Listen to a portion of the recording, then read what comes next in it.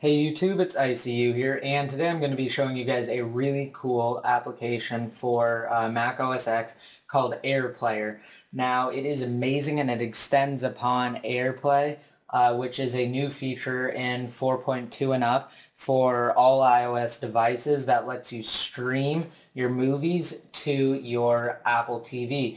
Well, this actually enables it to stream directly to your Mac computer using Apple's own Bonjour service. So this is actually really awesome and you don't even have to be jailbroken to use it. You just have to download this one Mac application. But if you plan on actually enabling it to work with Safari or with uh, the YouTube app or your uh, pictures or movies or anything like that, you either need to get Air Video Enabler or Air Home Video or both.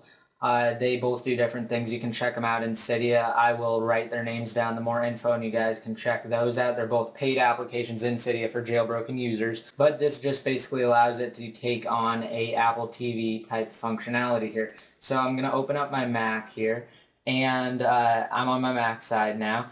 And you're going to have to come to this website. I will have the link in the more info for this. And you just want to download AirPlayer right here or if you're on a 32-bit system, download AirPlayer 32-bit. And then uh, once you download it, all you have to do is just open it up. Mine's right here. And then you just click Start AirPlay Service. And then it says, Bonjour AirPlay Service enabled. You may now connect from an iOS device. So what I'm going to do here is I'm going to go to YouTube. And this is one of my videos. And I'm going to enable AirPlaying by just clicking this button right here and clicking on Tanner's Mac and as you can see the AirPlay thing comes up. And on my computer you can see I have a little preview here a little window of uh, the video right here.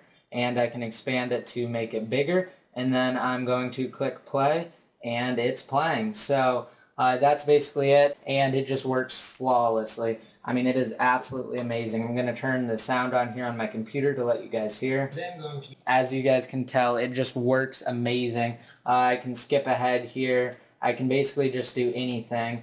Uh, it's really awesome. I definitely recommend you guys get it if you have a Mac. And hopefully the developer will extend it to Windows users as well. So I hope you guys like this video. Please let me know what you think in the comment section below. And as always, comment, rate, subscribe. This is ICU signing out.